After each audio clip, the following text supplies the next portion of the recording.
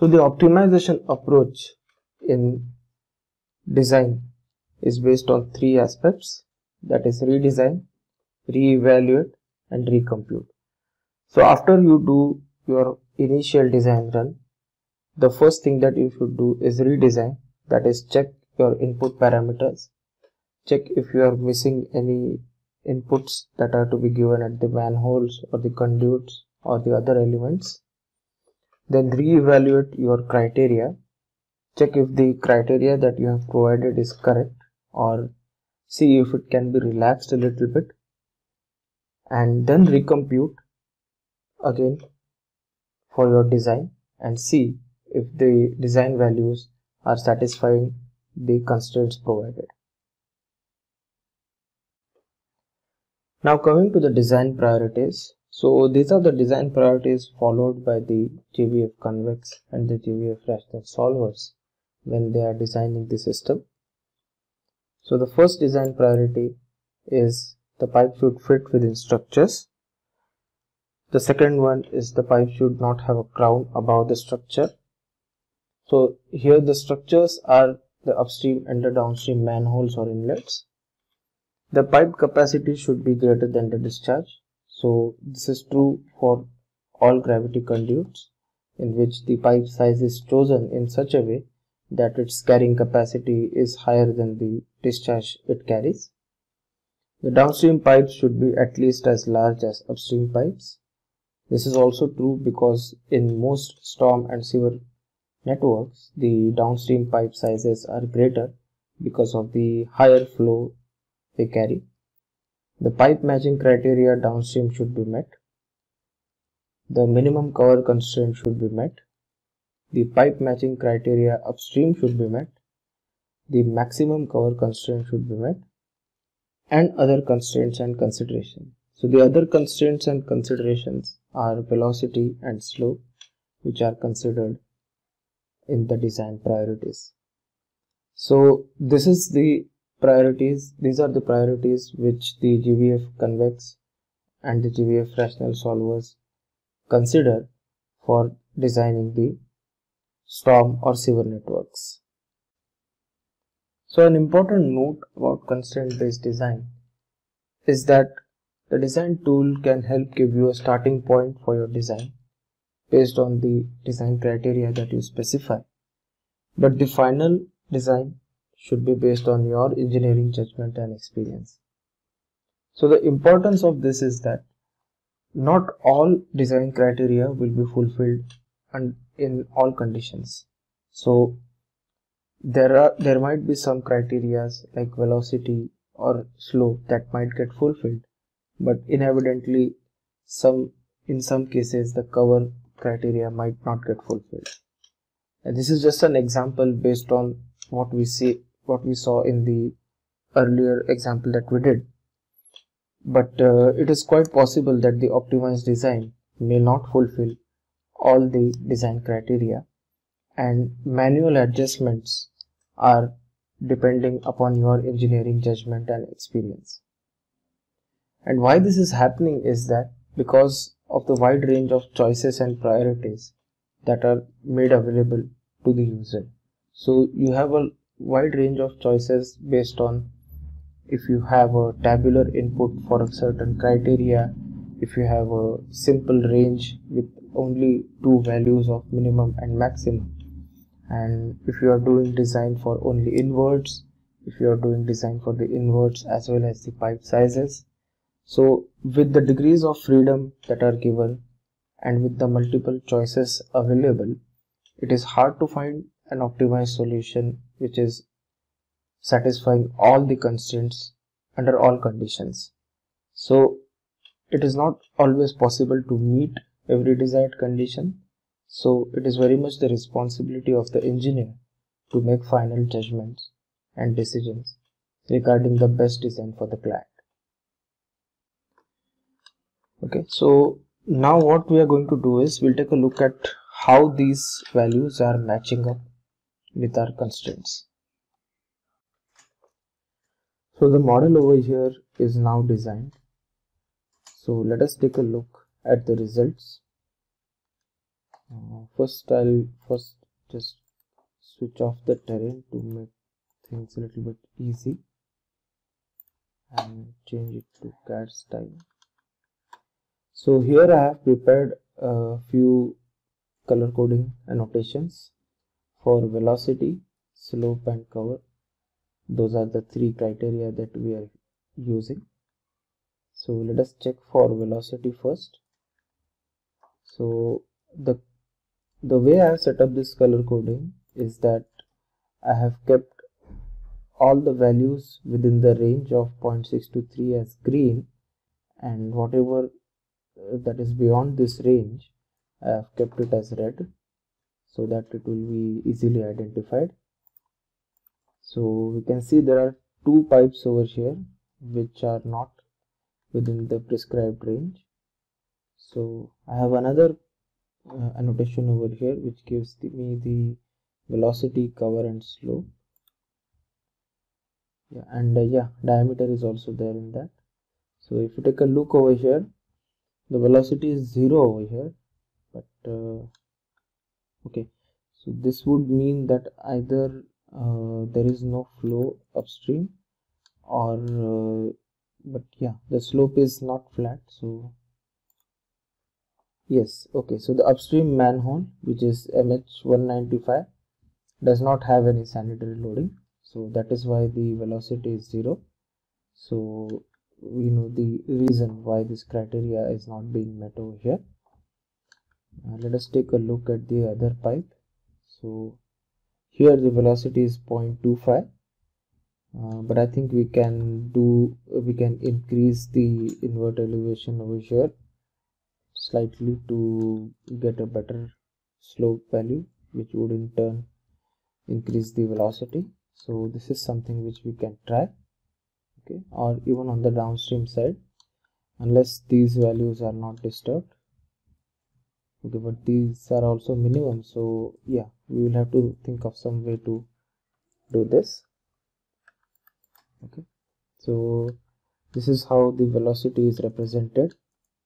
Now let us take a look at the slope.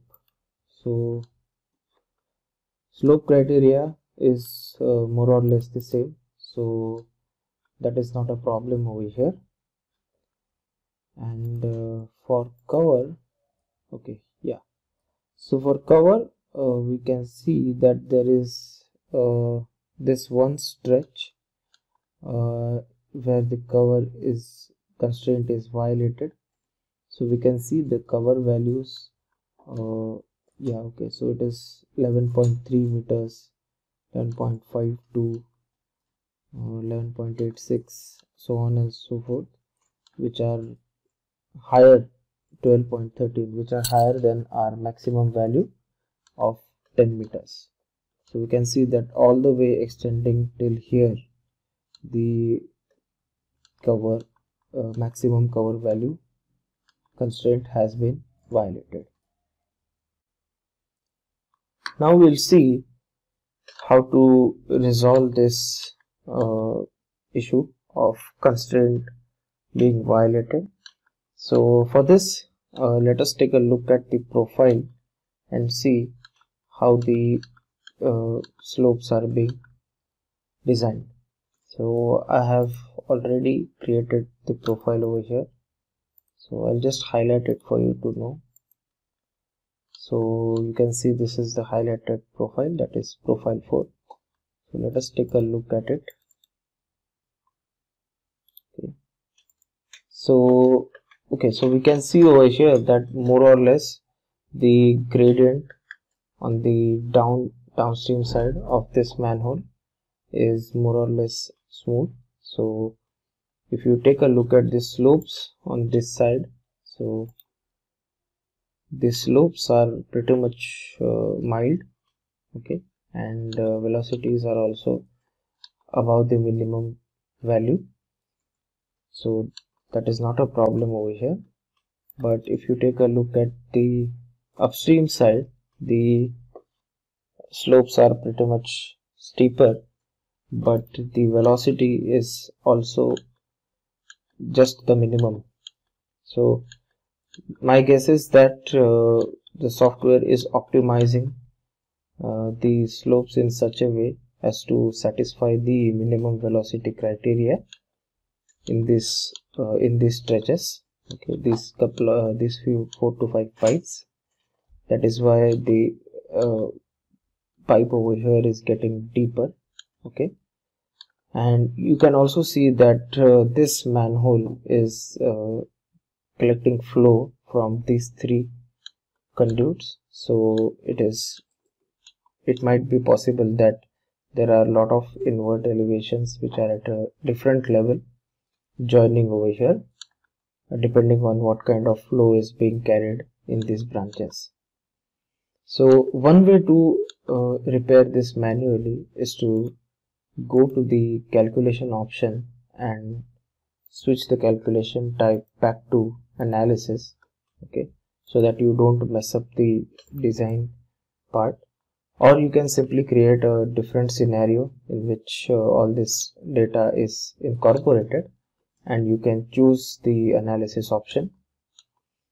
So just to try something out over here let me just try and reduce the uh, cover constraint over here.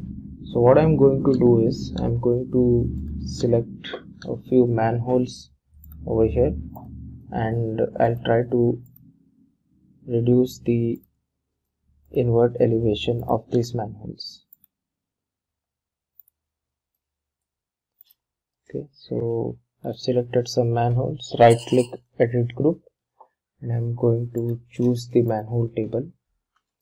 So in here we can see that uh, these are the values. So I'm just going to global edit and let us say I'll add up to 3 meters. Okay okay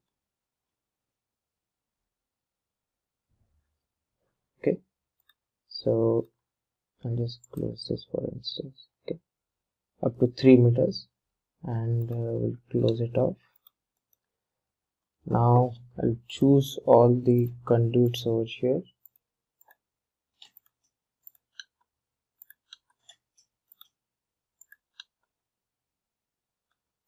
Okay maybe not this but till here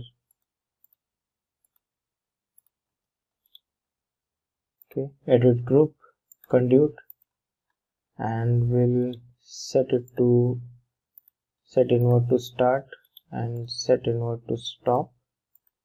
Just to get those values which we have set which we have set for the manholes.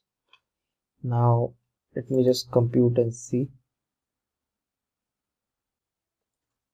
So you can see that uh, most of the cover criteria has been fulfilled over here but uh, there is this one pipe where uh, it is 10.27 so it is just above the 10 meter uh, mark. That is the high uh, higher cover. And here still it is uh, much higher. And on the downstream side also over here. And this is because of this uh, branch coming in. So these are the values which we can again focus on so this is the approach which uh, I, I was suggesting over here is that do some manual adjustments and tweaking to get uh, desirable results.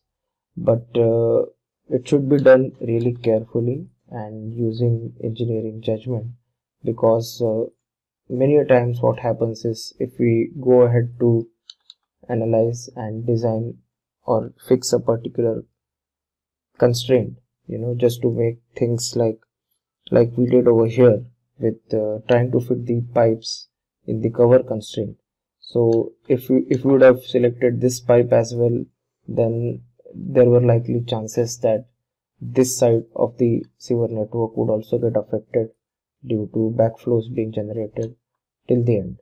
So the slopes would have changed on this side also. The water surface profiles would have been changed and it would have uh, failed in the velocity as well as the cover criteria.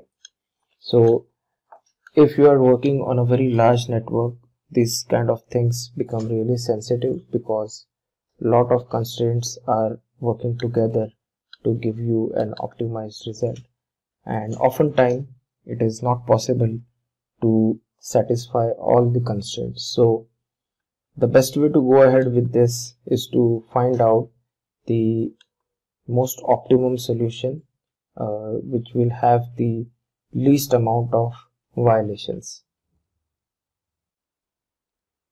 So the takeaway from this session which I want uh, to give you is that manual design is an iterative and time consuming process. So having the software take over this portion helps you design large networks quickly.